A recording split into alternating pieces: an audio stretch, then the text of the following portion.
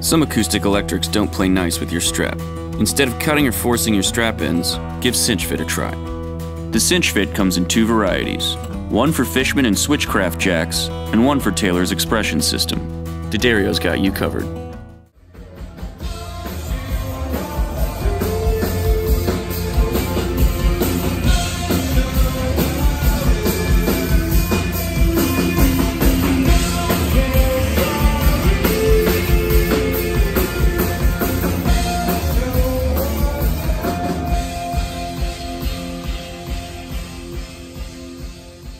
Hey, what's up, guys? This is Perry with Premier Guitar here at the Basement East in um, East Nashville, Tennessee, with one of my favorites, Ken Andrews.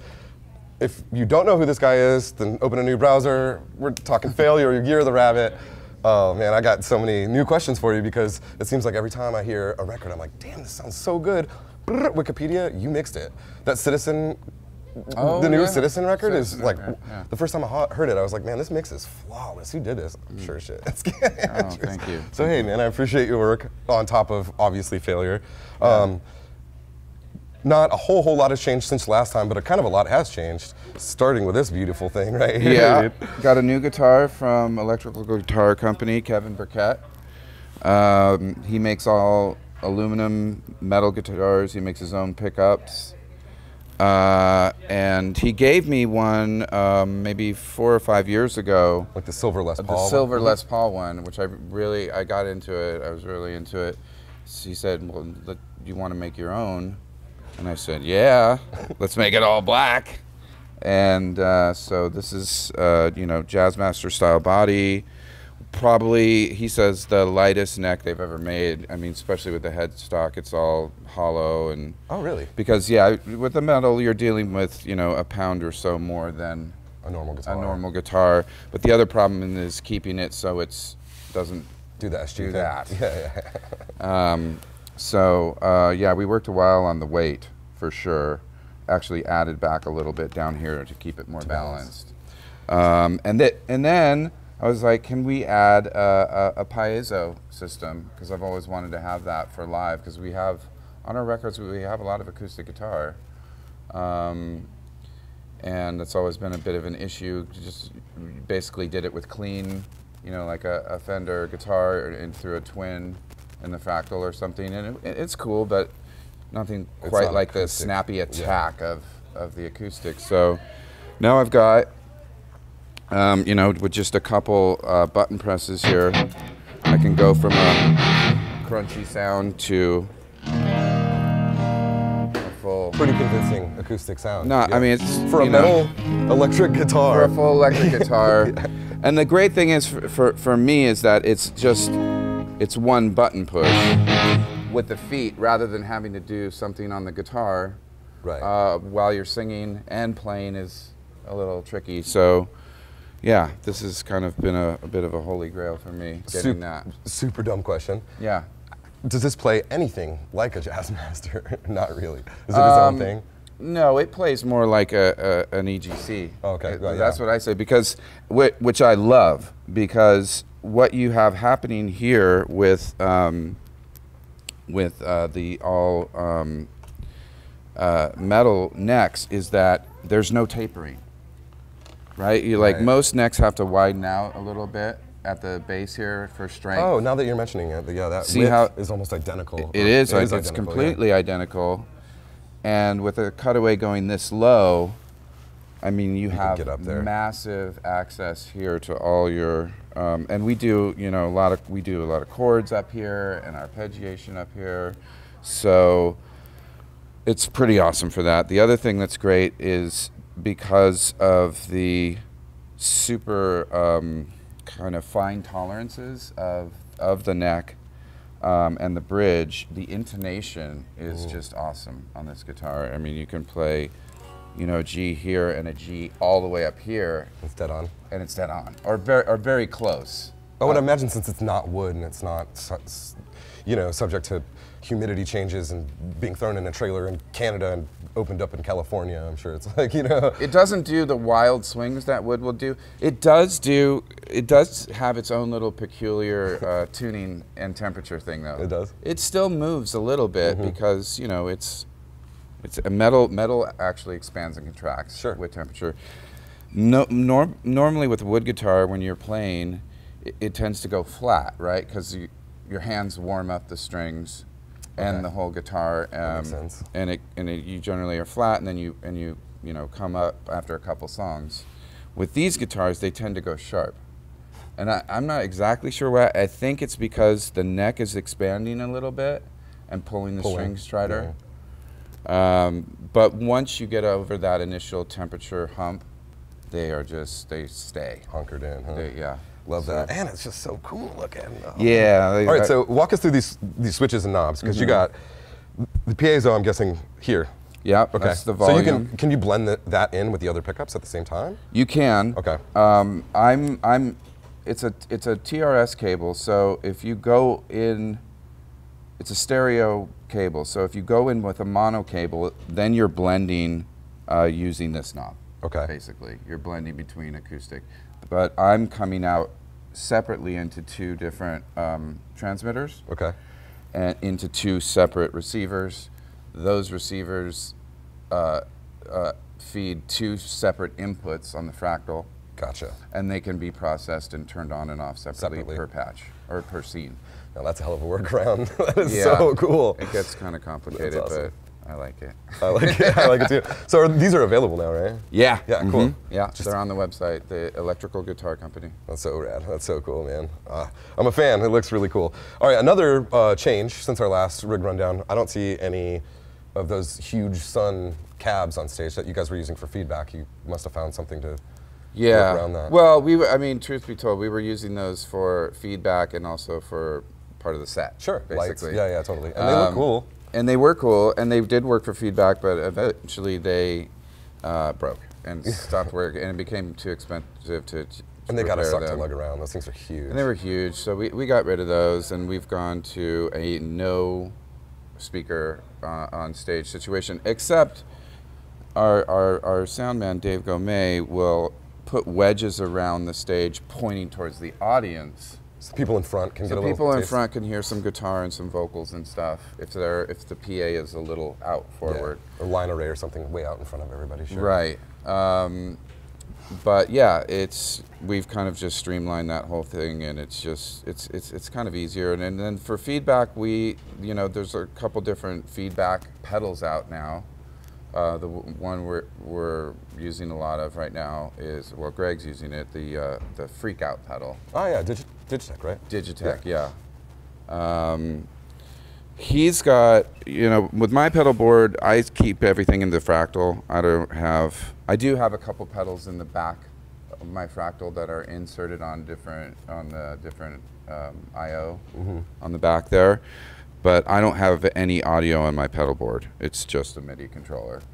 Greg has a, a separate uh, pedal board that's before his fractal, where he can do, um, you know, A couple of kind effects, crazy, yeah. crazy feedback, sustained ambient stuff. Where you'd have a synth pad or something, Mm. he's kind of doing more interesting guitar paddy stuff. Now we've had this 16, the GT16s now for for a few years.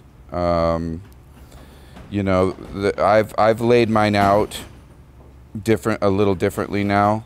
Um, Can you name scenes in the new Axe-Fx? that's that's that's the the fractal Axe-Fx three.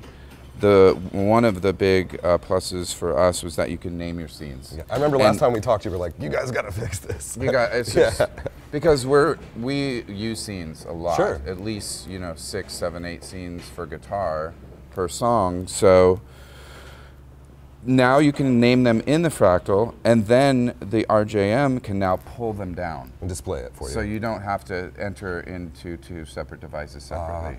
Ah, So you can actually manage a set list in the Fractal with the RJM now, instead of having the RJM do the set list. Handy.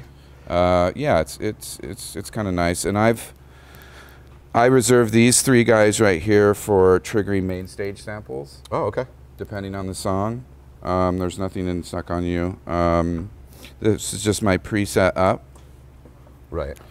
Um, and then I dedicate these four guys over here to a function in the fractals that was on in the Axe-Fx 2s as well. It's I call it the trimming function, where if you're on a given scene, and you just feel like, well, the way the band's playing with this section of the song, I need to be down a dB or up a dB. Right. You hit that, and it bumps that scene up or down one dB and saves it And memorizes that. and you did that memorize it right then. So it's a great feature for trimming scenes and presets during sound checks and rehearsals. Well, and every stuff. room's a little different. I'm sure that affects things as well. Yeah. Yeah. Um, so the last time we talked, I was blown away. So I was like, okay, I gotta, we gotta get an Axe-Fx. It's been a, a very arduous learning process. Yeah. And it's cool. I recently got the chance to review the 3 Mm-hmm. which I found a lot of cool little workarounds in the three that were left out of the two.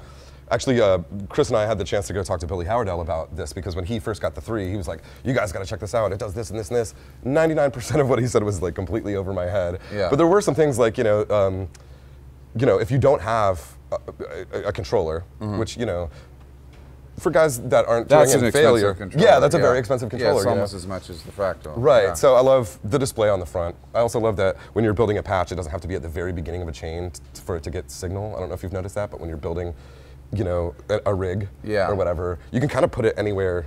anywhere you want. Yeah, and it'll automatically have an in and out, which I think is a, a huge time yeah, saver. yeah, you're start- setting up Yeah. the blocks. Yeah. What else? Um, you know, how how hard was the change from two to three? Well, um, I would say very hard. That's exactly what Billy honest. said too. Yeah. All right. because you know I, I, I love Fractal as Mm-hmm. a company and I love their product. Uh, it's it's it's a game changer, really, Yeah. from, for the way we use it.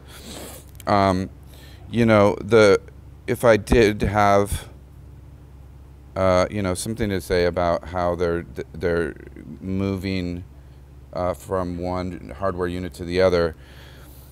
The thing of it is, is Cliff is the, the owner. He's chasing the ultimate emulation of, of real amps. He owns hundreds of real amps himself. He's an amp collector. He's a player. Um, that's his holy grail. Is getting you know the amp emulations to be Exact. so you know that where, where you just can't say anything. And that's a that's a great goal. Unfortunately what happens though is that he's changing like the amount of parameters per blocks and what those parameters do you know he's leaving some behind adding new ones to get to, to achieve this you know better and better emulations. But for the touring band who's trying to move, say, I don't know, 60 songs over to a, a- whole new device, it's, it was a little frustrating that they wouldn't just open it up as and sound the same. They, Oh, they just they didn't. They didn't. So after moving everything over to the new hardware, you still had to go in and tweak quite a bit. Oh yeah. Oh wow. I mean, the route, the, the what is saved is the the routing. Okay. You know, and and some of the effects, like you know, a flanger pedal and stuff. A lot of that didn't change too much, but the amps changed a lot. Really? The amps were like to to get back to where we were would involve you know quite a bit of changing and going th- because there's all new pages of parameters Right. now in the amp blocks. So it took a while. Once I got it down though, like you know, I I, I saved like a, um, a Friedman um, Brown Eye that we use a lot in a lot of different songs. I just save that as like a block preset, essentially that I can use in a lot of different songs. Yeah. I didn't realize that that was such a big change. It's a big change. Yeah. It's a big change. Billy actually mentioned that too. He's, he was kind of like when we. last time Chris and I got to hang out with him, we were shooting a riff rundown. Which, if you guys haven't seen the riff rundown, it's it's, it's fun. Learn some riffs. It's great. But he was uh, incorporating an aux box and all this stuff, so he was kind of like, I, I, felt like he might have been a little overwhelmed until he really got his head around it. And so Yeah. a lot of the guys we talk to have that same, you know, they feel the same way. And and personally, I talk to a lot of guitarists that are like, nah, I'm kind of sticking with the two because it's I've got it dialed in and I know what it does. And then there's a lot of guys jumping to the three. So I just kind of wondered, you know, what your take was on for, it. well, for me, it would, being able to name scenes, the faster uh, channel switching within blocks in the three Yeah, compared to the there's two. less of a latency live. There's less right? of a latency. Um, uh, and and a couple other features were kind of it was kind of a no-brainer, but I knew it was going to be, be rough sailing, so I started the migration two three months ago. So, oh, you you blocked out time because you knew it was going to. Well, yeah, yeah, what weekends? Sure, sure. Yeah, I. I totally get that. Um, yeah, yeah, just chipping away, and and so by the time this tour started, I was only short maybe a, two songs. Oh, you know, Wow. and I was able to do those in rehearsal. very cool. Um, this thing as a writing tool is this like uh, an inspiring piece of gear to you? Because you know I know you have a studio and you have real amps Yeah. and stuff like that, but Well, we use Fractal exclusively in the studio. You when we're do? making the albums. Yeah, ah, okay, I was going to ask Yeah. because yeah. No, if you've got it dialed in, you know, live, obviously took all this time to really, really kind yeah. of hone it in. I mean, when you've used it as as as long as I have now, like I can get a if I'm looking for a sound in my head, I can get it in like five minutes, ten minutes Oh wow. usually. Yeah. I guess it's just learning that language. Y- yeah. Does does that come from like working with like M83 and like learning more digital, like Stuff. more like a less traditional like you know uh, tracking and more you know studio based stuff? I mean, Yeah, sure. I mean, uh, Pro Tools and uh, you know the, the whole digital recording stuff. It, it forces you to learn um, digital signal flow and all that stuff. And if you also the experience of actually owning and maintaining a full analog rig in the 90s which is basically what you know fractal is is, is bases their user interface off of that you know? You're still dealing with chains where you're putting pedals Where they the go in that chain, and where's the amp going in the cabinet and all that stuff. So it, it- you know a familiarity with a, an analog system is good too just to kind of have a baseline of understanding that you mm-hmm. plug your guitar into the amp first as opposed to the cabinet right. which you can easily reroute wrongly in a fractal. I know that is a really hard thing Yeah. because it's that easy to mess up. Yeah. You're so right about that. So, yeah, so all that, and, and just the sheer amount of time I've spent programming sounds for the previous tours in like 2014 and 15. So we, when, when we went into the studio to make this record, the fractal was like, you know, a, a piece of my uh, everyday Rig. gear. Yeah, it's your rig, So it's like, okay, Greg's like, I want like um, a voxy kind of, you know, breaking up sound, but still kind of chimey, mixed with like a twin with that has a fuzz pedal in front of it. Okay, Got you. how's that? so cool. You know, it's like rather than like going out to the garage, pulling all those things Sure. out of their cases, miking them up, pissing off the neighbors. So this this song, I was talking about it earlier. The the main patch for uh, the verses of Undone is probably one of the more sophisticated um, fractal patches I've written. You've got the guitar. Um, coming here, but it's a stereo input. One side is acoustic, one side is the magnetic pickups. I split them off here, so now you're running. They're running separately. The top is the acoustic, and the bottom is the magnetic. And then you've just got so the the, the acoustic is hitting. It is hitting an amp. Um, I thought it was a touchscreen for a second there. a jazz chorus, right? It's like Makes sense, the yeah. most neutral sounding, kind of V'd out head. Um, interestingly, I don't think I'm using a cabinet with it. Huh. Because then it gets a little too dark and you lose that kind of chiminess Because it's the trying top to do of the acoustic. Yeah. something. But it's getting its own chorus, stereo chorus, stereo del- delay. Then it jumps down here and sort of joins the magnetic um processing, and then they both come out a stereo output one. Um, what's interesting about the magnetic line, here's the head for it, the amp. Um, and then what I do is I'm going out an output on the back of the fractal into a pedal, returning the pedal here, bringing that back in. And what that pedal is doing, it's the TC Electronic Mimique pedal. Have you heard of this pedal? It ends with a Q. It's a doubler pedal. Um, Like a double tracking. double Yeah, yeah. tracking thing, but it, the, I've never seen a pedal do it quite the way they do it. It's it's a proprietary. It's a digital pedal, so it's it's sort of cloning your sound, and then it's doing a non-repeating modu- slight modulation and s- delays, the same way you would actually double track something. And if you hard pan those in the ears and in the mains, it's pretty convincing double track for, for even for crunch chords and That's stuff. That's awesome. So, and I haven't found a way to do that algorithm is not in the fractal. So, we are using those. Both Greg and I have Mimique pedals in the back of the rack here, and then we we also have um, Earthquaker Devices Rainbow machines, because that pedal is just Awesome. a crazy pedal. yeah, it's so fun. So it's awesome for leads. Um, so yeah, so you know that's this. This is at kind of a little dangerous, running at 82, 83 on the on the uh, uh, Fractal three, uh, Axe-Fx three. This you wouldn't be able to run this on that two. Huh. It would be Too much. way over. Gotcha. Be way be, be like 130 percent.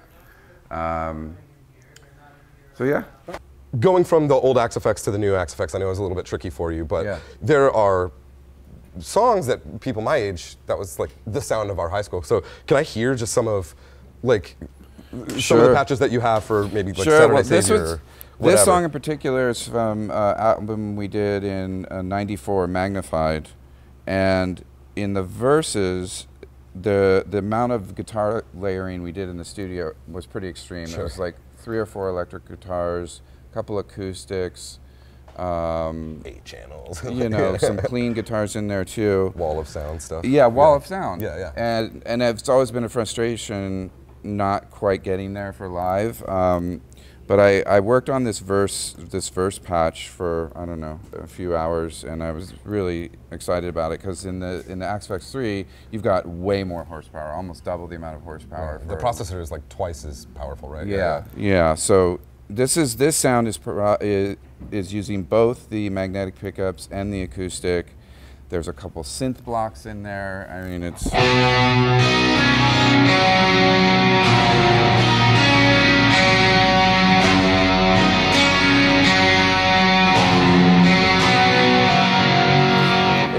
if you're able to hear that in stereo wherever you're listening, it's pretty cool. Yeah. Uh, so just so you know, there's no monitors on stage. They're only going through the house, so I can barely hear it. But Yeah, totally I hear it right here because I've got one, Oh, of, my, okay. one of my ears in. Yeah, but very convincing. Yeah, yeah. yeah, yeah. So it's it's it's fun. It's if you like to tweak, um, it's a, it's a fun box. Yeah, hell yeah. This is just like a basic crunch sound I use for like the the choruses of "Stuck on You."